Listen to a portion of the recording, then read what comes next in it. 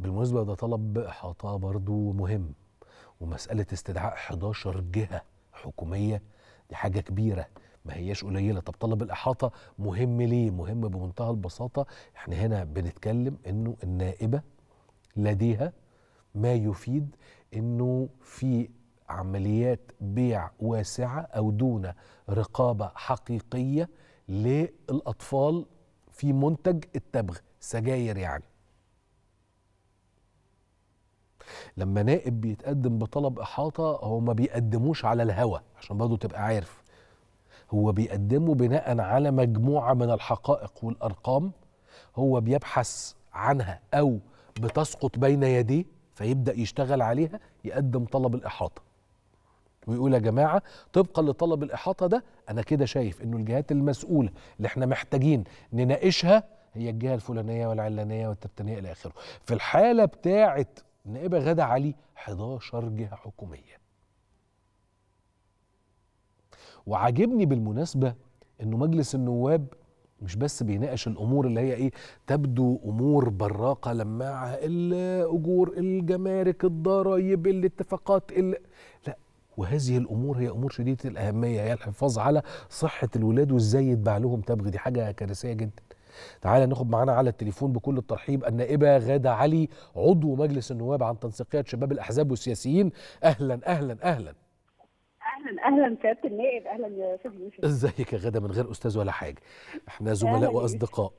آه آه طبعا. أنا كنت لسه بشرح بقول طلبات الإحاطة يا جماعة هي مش طلبات آه، فقط آه، بتيجي بالعاطفة. بيبقى عبارة عن إنه النائب اهتم بقضية فجمع عنها مجموعة من الحقائق أو الأرقام أو أسقطت في يده مجموعة من الحقائق والأرقام فبدأ يتأكد منها وبناء عليها بيقدم طلب الإحاطة. أنا عايز أعرف شفتي إيه يا غادة أو إيه المعلومات اللي بين إيديكي خلتك تستشعري هذا الخطر لدرجة استدعاء 11 جهة حكومية؟ آه مبدئيا يا يوسف آه، فكرة إن أنا أستشعر الخطر وأترصد الموضوع الموضوع ما بقاش محتاج ترصد. حضرتك لو نزلت أي تجمعات شبابية لو رحت أي نوادي لو مشيت في أي تجمعات شبابية هتلاقي الأطفال اللي هم أقل من 18 سنة عند المدارس التجريبية والمدارس الدولية في مستويات معينة. هتلاقي إن بقت في منافسات ما بين الولاد اللي أقل من 18 سنة في موضوع تدخين الفيب تدخين السجاير الإلكترونية لأن هي ما بقتش من النوع المنفر زي السجاير التقليدية وريحة السجاير التقليدية وبتتعرف وبتتشاف. لا بقت بمنكهات بالفراولة وبالشوكولاته وبالفانيليا وأشكال محببة وأشكال ملونة وألوان طالعة ترند بالنسبة لهم بعكس ال- السجاير التقليدية اللي عليها صور تحذيرية زي ما القانون بيقول فالموضوع بقى جاذب للأطفال جدا. خصوصا إنه بيتم. الترويج لأنه إن دي مش مضرة. وده من العبارات المضللة اللي يمكن يعني منظمة الصحة العالمية نافتها دول كتير آه، بتتكلم إن لا هي مضرة والمنكهات اللي موجودة بتبقى بتؤدي إلى على الأمد الطويل لمواد مسرطنة. فبقى في أساسا في مخاطر. إحنا بنتكلم دلوقتي يعني بمناسبة كلامك على إن مجلس النواب بقى بيهتم حتى بالقضايا مش اللي هي البراقة أيوه. بس القضايا اللي بتمس صح. البنية التحتية للدولة في شبابها. إحنا اولادنا بيتخطفوا وبيستقطبوا حتى من هويتنا المصرية. إحنا اولادنا بتبص تلاقيهم في التجمعات ال- اللي هي الكومباوندز أو في أماكن تجمع الشباب دلوقتي في مختلف الأماكن. هتبص تلاقي الولاد بيشربوا وال- والدخنة بتاعته بتطلع. مفيش أي رابط ومفيش أي تقنين. بلاش. ابعت أي طفل تحت ال 18 سنة لأي سوبر ماركت يشتري سجاير سواء السجاير التقليدية أو الفيب أو الايكوس وشوف لي صاحب المتجر هيطلب منه يطلع له البطاقة ولا لأ. أتحدى. أتحدى إن يكون في صاحب متجر بيبيع لتحت سن ال 18 بالبطاقة أو الرقم القومي. طيب إيه ده اللي أبرز؟ بيحصل بره يا يا صح طبعا طبعا. بيطلبوا الرقم القومي. ولو ما باعش بالرقم القومي لا إما بيتصادر البضاعة يغلق المحل يدفع الغرامة يتحبس عند العود لنفس المشكلة مرة ده مما لا شك فيه. طب طالبه استدعاء 11 جهة أبرزها إيه يا سياده النائب؟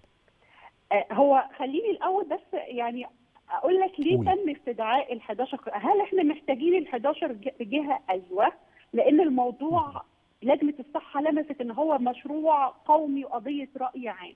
ما ينفعش جهة واحدة هنبقى بندن أو بنتخاطب في, في ناحية واحدة. حضرتك عندك طبعا وزارة الصحة وكان مستدعى من وزارة الصحة ممثلين عن وزارة الصحة ممثلين وزارة الصحة اللي موجودين نفسهم قالوا إحنا حاسين بالمشكلة وإحنا نفسنا آباء وأمهات وإحنا نفسنا كممثلين على وزارة الصحة وده مثبت في المطبقه في اللجنة. ما نقدرش لوحدنا كوزارة صحة نقنن ونحكم الت- التحول في في بيع التبغ للاقل من 18 سنة، أنا محتاج أكتر من وزارة وأكتر من جهه. أبرزها يا يوسف.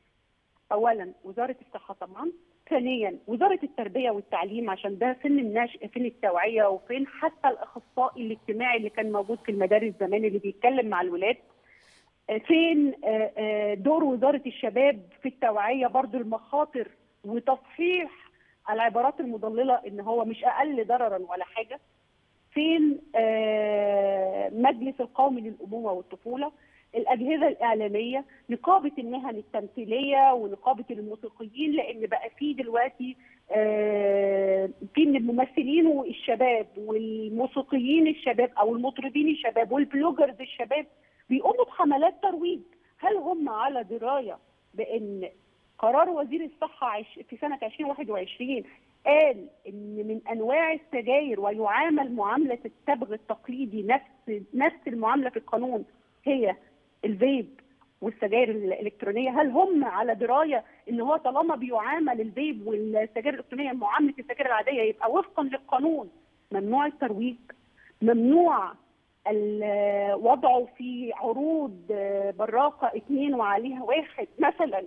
آه، ممنوع إن أنا أستخدمه واروج ليه في الاحتفالات الجماهيرية للشباب.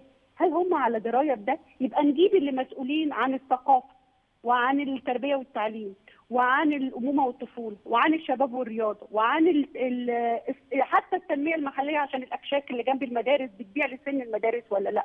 يعني صح. هو كان في ملحمة إنسانية الحقيقة وأنا يمكن قلت اتكلمت على قد ما أقدر بالقانون وبالورقة والقلم والمواد واللوائح وخلصت كلامي وبدات كلام ثانيا أنا بكلمكم كأم وكل أم وأب موجودين في اللجنة حاسين بالمشكلة. يوسف إحنا عندنا وإحنا بنتكلم في الصحة النفسية دلوقتي على مستوى الدولة كلها واخدة اهتمام كبير جدا. هل إحنا عارفين الأطفال اللي أقل من 18 سنة بيجيبوا فلوس؟ الحاجات دي منين؟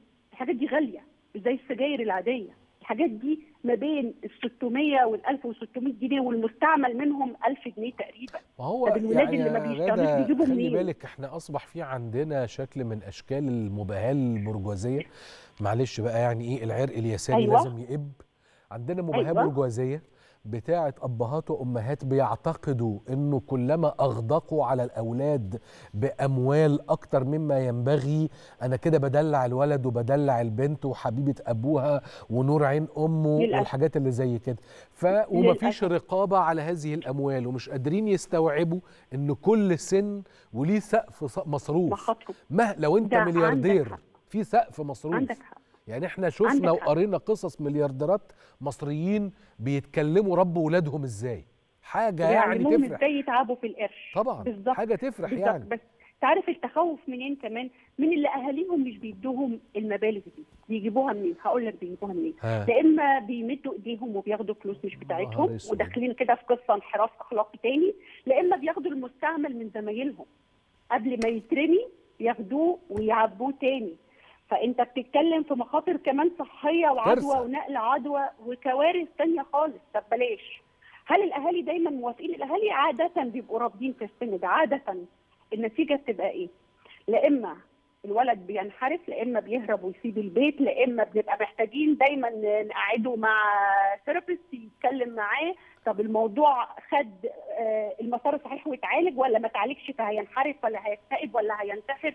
يا جماعة طالما في مقاومة ما بين الأبناء والأطفال والأطفال في على الناحية الثانية شايفين ده هذا ده, ده طلب. والله لازم ينزل لجنة عامة يعني حقيقي لازم على يتخذ عليه فكرة يا توقيعات لجنة أنا- عامة أنا مش عاملة طلب إحاطة واحد أنا عاملة طلبين إحاطة عشان. واحد في لحماية المستهلك في تق... في الرقابة على ال- على المنتجات على دي المنتج آه. واحد في الصحة وعاملة طلب مناقشة عامة بإمضاء 20 عضو من أعضاء مجلس النواب وعاملة سؤال موجه ودي. برضو خليني معلش عشان إحنا بنتكلم في النواحي الاقتصادية برضو وأنا في اللجنة الاقتصادية برضو هل إحنا عارفين إن في دراسة جدوى اقتصادية اتعملت في وزارة الصحة في 2021 بالتعاون مع منظمة الصحة العالمية وبرنامج الأمم المتحدة الإنمائي قالت في نتائجها إن كل جنيه بيتصرف في مكافحة التبغ بيوفر للبلد 40 جنيه في معالجة أضراره.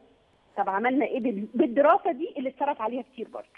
أنت كده تيجي تنورينا وتشرفينا بقى. نعم. كده تيجي تشرفينا بقى. بجد. لا والله أصل ده أنا أنا أنا عاجبني جدا. التجميعه اللي قلتيها دي ما بين طلبات إحاطة وما بين سؤال لا دي الحكاية كده إيه محتاجة لها إنه يتم مناقشتها فعلا بمنتهى التفصيل ونشوف إيه اللي هيتم.